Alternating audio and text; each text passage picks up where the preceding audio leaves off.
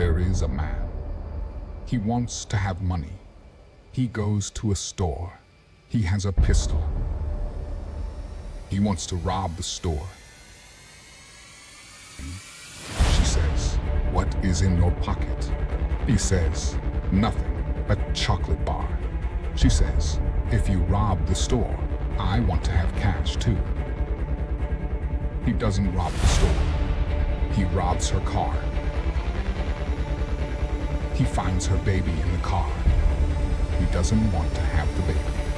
He goes back to the store. He finds the woman is robbing the store. He says, Give me the money and I will give you the key.